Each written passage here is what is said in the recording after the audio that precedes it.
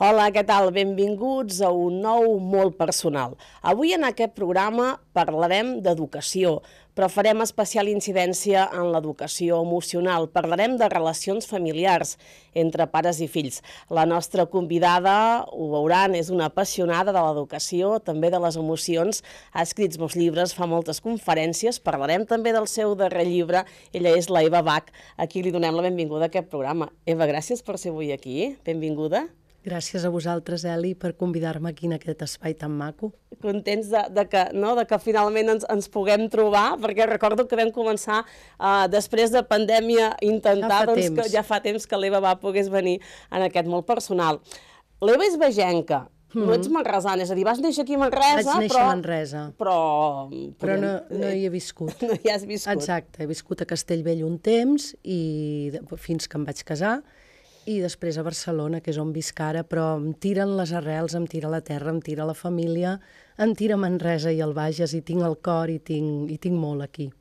Éreu de Castellvell del Vilar, bueno, sou? Sí, sí, sí, la, la família paterna sí, la de la mare ve de, de Múrcia, però la mare va arribar aquí també molt joveneta, a Catalunya, es va adaptar perfectament, ningú diria que, que vingués de Múrcia perquè parla un català perfecte, i, i sí, eh, hem estat a Castellvell, però, però jo sempre dic allò de que posa el teu DNI, en el meu posa Manresa.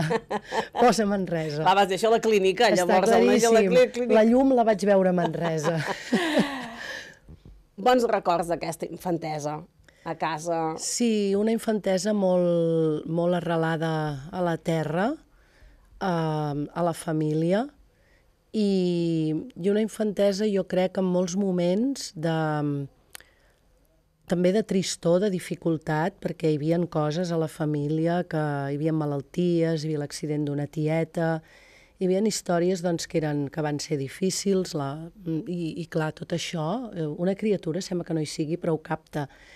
Però també molts moments d'això, de, de bellesa, de...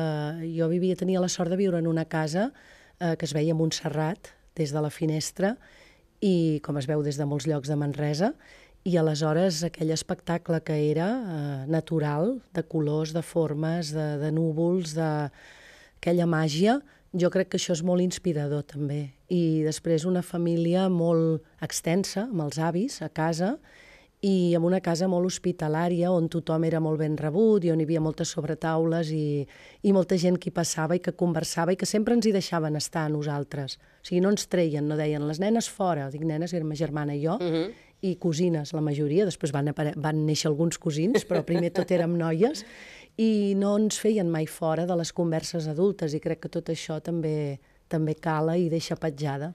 Clar, de petites moltes hem volgut ser mestres. Sí no sé si ja la, a, cas, en el cas de la Eva ja, ja no. pensava de ser petita, de no, no, vull no. ser mestra, vull, vull ensenyar. No, no, què va? Jo volia ser perruquera o volia ser infermera o volia ser oficinista o coses... O sigui, no, no, no, jo no neixo amb aquesta passió. De fet, mm, jo, vaig, jo crec que jo no m'enamoro de, la, de la pedagogia, sinó que me la trobo i crec que és ella la que em crida a mi, no, no sóc jo la que la vaig a buscar, perquè de fet jo ni m'havia plantejat estudiar ni magisteri ni educació. Jo volia estudiar eh, història o filosofia. De fet, volia estudiar filosofia, però vaig pensar que, que estaria divagant tot el dia, que jo ja tinc una mica tendència allò, no?, a pujar-te, a enfilar-te dalt a, a la branca, i vaig pensar, mare meva, estaré tot el dia en un núvol perduda buscant el sentit i l'origen de tot. Potser no sé si em convé. No. No sé si em convé. I llavors vaig dir, doncs, història, perquè m'agradava molt la història, també, i vaig veure que o era massa específic en una etapa concreta de la història, medieval, antiga, moderna, o era molt general i molt poc específic, i no em va convèncer. I llavors vaig veure l'opció de que hi havia una carrera en aquell moment, quan jo vaig estudiar, a principis dels 80, que era pedagogia, eh, psicologia i filosofia, doncs era comú el primer any. I llavors, I llavors el segon podies escollir, vaig dir, calla, això, aquesta és la meva, perquè podré veure filosofia, podré veure les altres dues, algunes coses més, i tindré un any més de temps per veure per on tiro. Per on tira. I em vaig enamorar de la pedagogia. I vaig tirar pedagogia i estic contentíssima d'aquesta tria, que gairebé no va ser una tria, com et dic, sinó una troballa. Quina és la primera feina de, de l'Eva Bach una vegada acaba doncs, els, els estudis? Doncs la primera feina que tinc, curiosament, eh, va ser molt poc temps, va ser en el sector del turisme, perquè necessitaven formadores, formadors que ensenyessin a comunicar i que ensenyessin a gent que estava treballant en l'àmbit turístic a fer de formadors o de formadores en el seu àmbit. I llavors, o sigui, de formadora de formadors, però en comptes de l'àmbit educatiu meu, en l'àmbit turístic. I llavors vaig fer com fer una bona comunicació, una bona exposició oral, amb gent que estava treballant en l'àmbit turístic i vaig estar amb el departament d'una empresa turística fent plans de formació d'aquest estil. Però vaig veure que no era, No, no, no, no, no era el eh? que a mi, no era el meu allò. I aleshores vaig decidir a fer les opos del de, cos docent, Uh -huh. Que en aquell moment des de pedagogia podíem, podíem entrar, i com que jo tenia l'especialitat d'infantil, havia anat agafant assignatures d'infantil a la carrera, que sempre l'amor a les criatures m'ha acompanyat des de... Això, ja des, això sí que des de Des de petita, petita. que més sóc la gran de les dues germanes, sóc la gran de tots els cosins i cosines, aleshores l'amor a les criatures, això sí que ha sigut una constant, això sí que és des de ben aviat, i havia fet moltes assignatures que tenien a veure amb, amb educació infantil, i vaig entrar per l'especialitat d'infantil a les oposicions, les vaig treure, i vaig estar set anys de mestre, fent de mestre, sí, sí, i ja no he sortit mai més del sistema educatiu, després ho vaig deixar. Contenta d'aquests set, anys- set anys ensenyant. Encara recordo coses boniques Sí? de, dels nens i nenes i de tendresa infinita i, i recordo aquest, aquest luxe que és poder observar eh, una criatura de prop en el seu procés de creixement, de descoberta de la vida, això, això va ser meravellós. No va ser tan meravellós a vegades experiències eh, ja amb, a nivell d'escola amb companys, companyes, que jo hi havia coses que no entenia l'educació, com per exemple el fet d'arribar embarassada a la primera escola, una de les primeres on em van donar una mm. destinació provisional, vol dir que m'hi havia d'estar tot l'any, perquè primer vaig fer substitucions. Uh, quan vaig arribar, jo vaig arribar embarassada i això era un problema no?, per l'escola. Uh, és que no et feliciten per la vida, no, o sigui, estem, estem ajudant a, a pujar vides i, a, i acompanyem vides humanes, que és el més bonic del món, i tu arribes gestant una vida i, i ets un problema des del moment en què arribes, perquè estàs gestant una vida. És una cosa que no entenia. I, i de coses d'aquestes me'n vaig trobar moltes. I això, tota una suma de coses d'aquestes, va ser... El, a veure, també em vaig trobar companyes que em van fer molt costat, molt empàtiques i, i que sort em vaig tenir, no? Però això és el que em va fer al final que jo eh, acabés deixant l'escola pel, que el vaig, pel que la vaig deixar, que va ser per anar-me a tot el món emocional. Clar, quin any estem parlant? Llavors passa tot això i l'Eva diu, doncs mira, jo faig un canvi en la, amb, la, mida, amb la meva vida. Com va? Sí, clar, és, est- és sí, sí. difícil canviar, Sí, sí. no? I, Estem- I fer el pas. Exacte, estem parlant de l'any 92-93, que llavors estava embarassada del meu segon fill i vaig aprofitar el seu naixement per demanar una excedència maternal i ja no vaig tornar a reingressar. Com faig aquest canvi de deixar una feina fixa, Clar. de funcionària, mm -hmm. en el fons, per al que estic fent des d'aleshores, que és de professional autònoma, perquè tot el que faig ara doncs, és, de, és laboralment és així, no? com a professional autònoma. Aleshores, això va ser perquè, eh, primer jo, quan vaig fer les oposicions i vaig decidir ser mestre, ho vaig fer per haver trepitjat escola perquè jo era molt conscient que com a pedagoga una de les crítiques que em podien fer és que no havia vist un nen de prop o una nena de prop o que no havia trepitjat l'aula. I aleshores vaig dir que no m'ho puguin dir mai, això, que, no, que, no, que només faig teories que estan desvinculades de la realitat de les aules. I vaig dir, algun dia sortiré, faré un temps i algun dia sortiré. I clar, què em va empènyer a donar la, a, a, això, aquesta, aquest impuls per sortir de debò, fer el pas? Doncs va ser veure que mm, hi havia com dos tipus de problemes a l'educació. Uns eren els problemes naturals del creixement, que totes les criatures experimenten, problemes psicoevolutius, i que són normals i que la tendència és a que se superin i es passi una nova etapa amb altres reptes de creixement i amb altres necessitats, però després hi havia un grup de problemes que eren, no eren naturals, sinó que eren fruit de la manca de capacitat adulta per poder donar respostes adequades en aquests problemes naturals del creixement. I això normalment eren temes que tenien a veure amb mancances emocionals adultes. Dels pares, eh, en aquest sí, cas? Sí, dels pares i, dels, i del professorat mm -hmm. també, de les mestres sí, i dels mm. mestres nostres, nostres. I això em va portar a investigar què, què ens estava passant a nosaltres a dins, que en un moment determinat les nostres emocions ens superessin, ens desbordessin, ens portessin a, a començar a cridar amb unes criatures a l'aula, a, a sortir totalment de mare, a perdre els nervis no? i perdre els papers. I em, em vaig començar a preguntar què, ens, què alguns passava a nosaltres quan teníem de repent aquest canvi de, d'actituds i ens desequilibràvem, eh, per dir-ho d'alguna manera, encara que fos puntualment.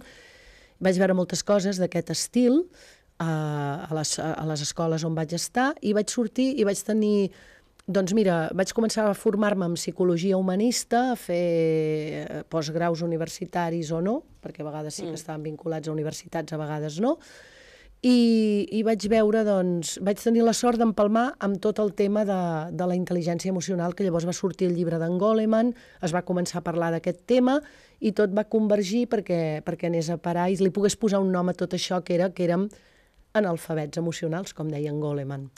Però clar, això aquella època era completament novedós, clar, una cosa és, no?, i evidentment ara estem molt més acostumats, no?, a, a parlar d'aquests temes i que l'educació emocional ha entrat a les escoles, per exemple. Sí, sí, Però sí. clar, estem parlant dels anys 90 i no, clar, això era sí, sí, completament... finals dels 80, uh, finals dels 90, perdó, finals clar, dels 90, clar. jo vaig sortir el 93 i vaig començar a fer les primeres coses públiques d'aquests temes per allà al 97 i això era bueno, havies d'anar primer eh, com jo dic com demostrant a la gent que no eres vident, que no... Que, de debò, eh? Sembla mentida, però que no tenies una bola, que no eres una dona esotèrica, ni res, no? I jo recordo que en aquella època sempre he donat molt de pes a tota la part neurocientífica de les emocions, però en aquella època molt més cara, o sigui, jo començava allò a saco amb els temes neuroemocionals perquè pensava que es vegi que això té un fonament i després a partir d'aquí ja podies dir qualsevol cosa, però primer havies de demostrar que allò tenia un rigor científic perquè se'ns podia prendre com, com gent massa alternativa. Uh -huh. Bona acollida. Portes molts anys ja, sí, Eva, eh? Sí. Per tant, vol dir bona sí, feina, també. Sí, sí. Sí, jo crec que l'esforç per treballar amb rigor i, i per fer aquest equilibri a vegades tan difícil entre, entre el que és científic, el que és eh, l'evidència científica i el que és la poètica i l'evidència humana, no? Aquest equilibri entre totes dues coses, el que no és científic o, o no ha pogut estar demostrat, però és, perquè sabem què és, i quan tu mires amb ulls humans veus que allò és una realitat, doncs aquest, aquest equilibri que sempre he procurat tenir jo crec que ha donat els seus fruits i ha fet que hi hagi una credibilitat en la tasca que he fet i avui ja no m'he de justificar tant. I també les escoles. I tant, i tant. Perquè a vegades entrar també en un món que estava fins, no? potser els anys que vam estudiar nosaltres, o quan érem petits, és a dir, molt, molt, més, percat, molt més marcat, ara és completament diferent.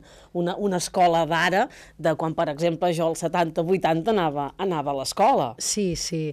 Ha costat, eh, per això, perquè, clar, l'escola, eh, tot i que fa molts anys que parlem de desenvolupament integral, com deia sempre en Pere Darder, que ens va deixar ara fa poc, mm i aquí jo l'estic agraïdíssima i de per vida, doncs ell sempre deia, sí, sí, sobre el paper posem desenvolupament integral, però després eduquem desintegradament, perquè ens oblidem de dimensions tan importants com la emocional i l'afectiva a mà. Mm, les deixem de costat, no? prioritzem el saber, el saber fer, però no tant el sentir, el ser, el, el conviure. Quan hem començat a prioritzar això, moltes vegades ha sigut per dificultats, per conflictes, perquè, perquè tenim urgències que hem de resoldre, però no per aquesta convicció de dir és que és tan important el, la sensibilitat, el que passa per dins de les persones, el que batega en el cor, per dir-ho metafòricament, que, que, el, que el saber. I, I el saber sense la llum de, de la sensibilitat i de les emocions és molt difícil que arribi a bon port o que en puguem fer un bon ús d'aquest saber. I això que és tan senzill i que segurament tu i jo tenim tan, tan clar i molta gent que ens pugui escoltar també, sembla mentida que a vegades a les escoles encara hi hagi doncs, qui no ho veu això, no? I dius, home, estem a l'educació i no veiem això? Doncs no, i hem hagut de fer molta feina per això, perquè pel que deies, no perquè siguin persones obtuses, és que venim d'un altre model i d'un altre sistema. uh, una educació emocional que ha de començar de petits. Per més descomptat. aviat la, trevi- la, la treballem, molt millor. Per descomptat, i, i amb això hem de, hem de creure-hi i hem de ser conscients que les criatures, encara que no entenguin les paraules exactes o els discursos o el que seria el missatge complet que, li, que els hi puguis donar, sí que entenen eh, quan hi ha una emoció que, la, que té cura d'elles, que les volem cuidar amb, aquella, amb aquelles paraules, el que fem és voler-les acompanyar eh, en la vida i voler cuidar la seva vida, això sí que ho entenen. Per això, des de que som petits, els hi hem de parlar d'emocions i els hi hem de dir el que poden estar sentint, el que podem estar sentint nosaltres, encara que sembli que és una conversa perquè no ens contestaran quan tenen mesos. Jo ara tinc una neta que està a punt de fer 17 mesos i des de ben petitona que, que li, li explico i li parlo de, de sentiments, d'emocions, de- d'estimar, de, plorar, d'estar tristos, de quan ens enrabiem, i li vaig posant nom a tot això i veus com ella, a poc a poc,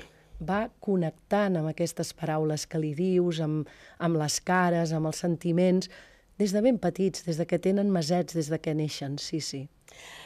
Deies, no?, que hi ha, aquest, quan parlàvem de conflictes, no?, la Eva deia, hi ha aquests que són potser, no?, que venen ja, estem parlant, per exemple, potser estic pensant en l'adolescència, eh?, que la, tu també, eh, Eva, ja has, ja has tractat Sí, molt i en sí. parles, no? És un procés de canvi, no?, d'aquests d'aquests joves, de- d'aquests nens i nenes, que moltes vegades també pot topar amb aquesta part que deies tu, d'aquesta, no, de- del que ja portem els adults, per exemple. Per això és tan, tan, tan difícil o és més complicat gestionar-ho? Sí, és que moltes vegades els problemes més grans de l'adolescència, precisament empalmant i enllaçant amb això que deia abans, no són els problemes de la pròpia adolescència en si, és a dir, les necessitats, el que l'adolescència fa emergir en, en, les, en els nois i noies adolescents, sinó els problemes que els seus problemes generen amb nosaltres quan la nostra maduresa emocional i adulta no és suficient. És a dir, què passa? Doncs l'adolescent, els romans deien que són els que porten el foc d'una vida nova. Imagina't que és bonic això i que és diferent de l'edat del pavo. O, Sí, sí, o molt més bonic, que sí, diu, sí. No? Els hi hauríem de dir això, és que portes el foc d'una vida nova. Imagina't, digue-li a un adolescent, et mirarà com si estiguessis, com dient, aquesta què li passa, però li agradarà. I jo sempre dic, no fem cas de les cares que ens posen els adolescents, perquè hi ha coses que la seva cara no les registra, però la seva ànima, el seu cor, sí que la registra. I quan tu els hi dius que porten el foc d'una vida nova, encara que ni sàpiguen ben bé això què vol dir d'entrada, segur que els hi agrada més que, que no pas que els hi diguis l'altre. Aleshores, clar, si aquestes criatures que estan despertant a la vida, perquè l'adolescència és el despertar a la vida, el despertar a l'amor, a la sexualitat, a si mateixos, als altres, a tantes coses, no? al món en general, eh, i tu, com a adult, com a adult estàs ja desencantada de la vida, si tu aquest foc ja se t'ha apagat, si tu ben just en queda una espurna perquè t'has desencantat de tot o quasi, com vols poder acompanyar en aquests que estan en ple, en ple despertar? És molt difícil. Per això dic que els adolescents no es motiven. I jo dic, i tu et lleves motivada i vas a treballar motivada i els hi dius bon dia motivada o, i al vespre, quan arribes a casa, encara estàs motivada i els hi dius hola, preciosos, o hola, precioses, o ja entres amb cara de fastiguejada. Tot això, tot això és bàsic que ens ho Que preguntem. segurament amb el dia a dia això no hi penses. Ara estigues, no? Deies això, no? D'arribes un dia cansat de treballar, no? Clar, segurament no penses que ells també arriben cansats. No? Tenen l'escola, tenen les extraescolars, tenen també moltes coses. Però clar, això que deies és molt interessant, però clar, s'ha de portar a la pràctica. I has Clar. de pensar, suposo, no? dia a dia. Clar, perquè, i a més està permès que un dia arribis fastiguejada i farta i tot, però llavors digue-ho. Llavors digue-ho, uh, si, si n'ets conscient, la consciència ja té un efecte neutralitzador, mitigador, i ens dona honestedat, i l'adolescent no ens demana que siguem perfectes, ens demana que siguem això, persones honestes. Si som persones honestes, doncs li podrem dir perfectament que hi ha algun dia que no, que no, que no podem i que avui estem desencantats de tot. El que no podem, el que no pot ser és que estiguem desencantats de tot tot el dia. Uh, amb la Montse Jiménez vam fer una recerca amb 1.500 adolescents arrel del nostre llibre conjunt Mares i Pares Influencers i quan vam preguntar a 1.500 nois i noies eh, què no els agradava de, dels adults, del seu voltant, eh, un percentatge important ens va dir que ens veien ratllats, estressats i amargats. No pot ser. O sigui, ho podem estar un dia. Una altra cosa és que ja tinguem aquest tarannà, aquest posat de manera permanent. No són...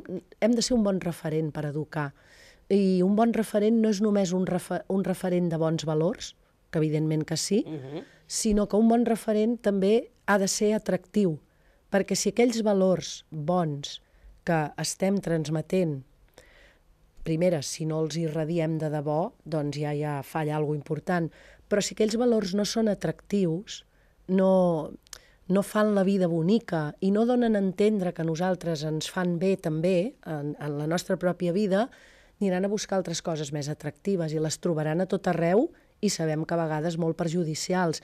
Per tant, nosaltres, la nostra, sempre dic, la nostra mirada, les nostres paraules, la nostra actitud, els hi ha de dir coses boniques sobre la vida, de la vida i sobre ells i elles i sobre nosaltres.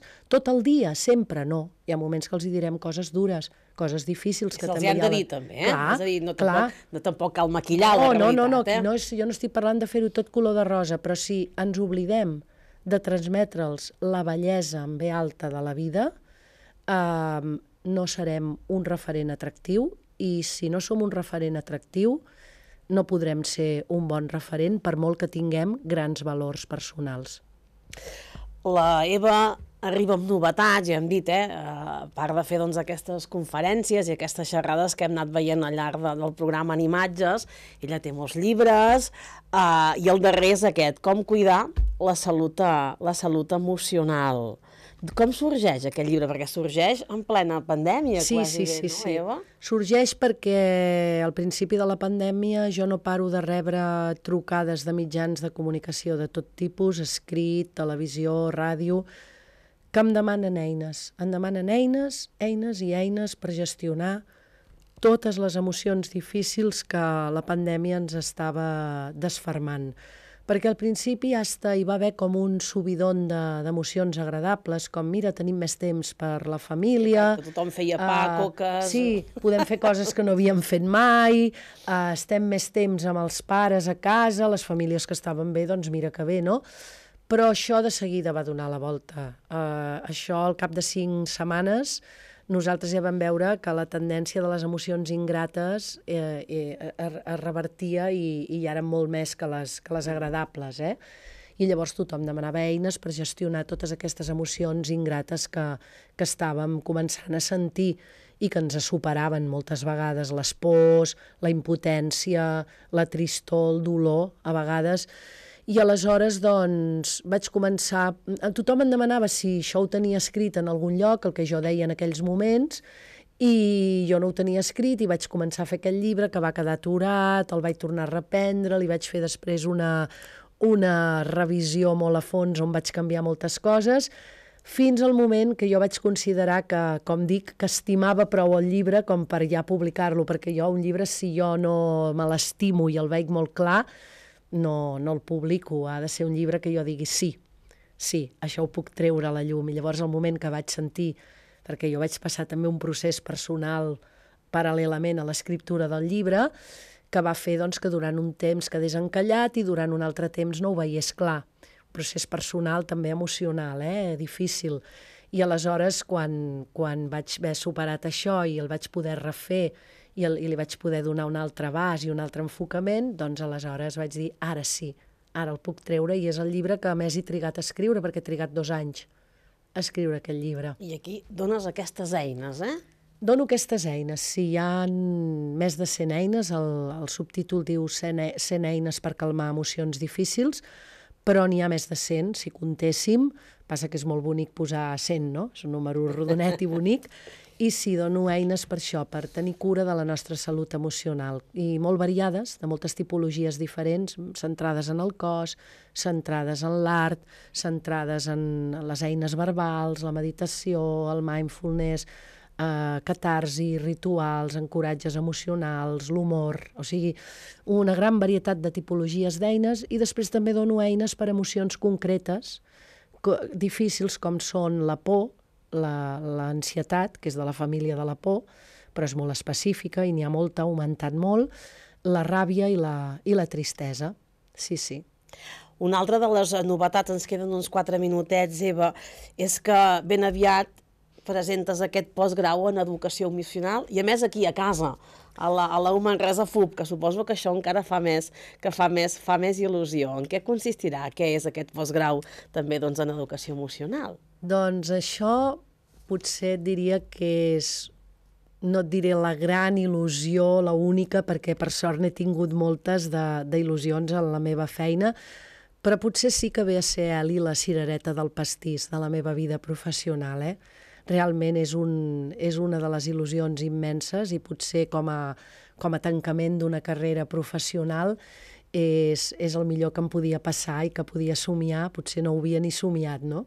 Uh, doncs això, coordinar aquest postgrau d'educació emocional amb la Loma Cuiner, que és la persona que m'han ofert des de la universitat perquè pugui fer doncs, les, ta les tasques complementàries a les que faci jo, i des de la FUP, amb Antoni Llobet, amb, bueno, a través també d'en Valentí Martínez i, i tot, i van començar amb la, amb la, amb la Coco, mm, uh, Vilaseca, i amb la, i amb la Montse González, també, que després hi ha hagut canvis i elles han, han quedat per altres qüestions mm. i ara pues, estem amb Antoni, però realment també ha costat, perquè ha quedat aturat per diverses circumstàncies, no per voluntat nostra, sinó aquests canvis a la FUP, també el procés aquest meu que et deia, i al final veu la llum ja, el posarem en marxa aquest febrer de 2023, mm i serà aquí a la U Manresa. Uh, jo l'he creat tot, de dalt a baix, el que és el contingut, el que és el pla d'estudis, el disseny d'aquest postgrau, i bueno, té coses molt maques. Una d'això, no? que, que ho fem a Manresa, que ho fem a casa, uh, que ho fem al cor de Catalunya, un postgrau d'educació emocional, és molt maco, i potser és el postgrau que jo he somiat i no he trobat a cap universitat. I a més amb l'equip també he somiat, perquè tenim molt, molt professorat del, de Manresa, del Bages, a, uh -huh. en el mhm. postgrau, i pràcticament gairebé el 90 i, i més per cent de, de professorat no només són persones que admiro professionalment, amb unes trajectòries reconegudes, sinó que més hi tinc un vincle personal d'amistat i d'afecte. Jo crec que això serà un plus pel nostre postgrau. Eva, molta sort, que vagi molt bé amb aquest postgrau, molta sort també amb el que vagis endegant, sort també doncs, amb, aquest, amb aquest darrer llibre i a seguir treballant. I tant, seguirem amb, amb ganes i amb amor i moltes gràcies, Eli, de nou. A tu, fins la propera, adeu-siau. I nosaltres, que la setmana vinent tornem amb un nou molt personal. Adeu-siau.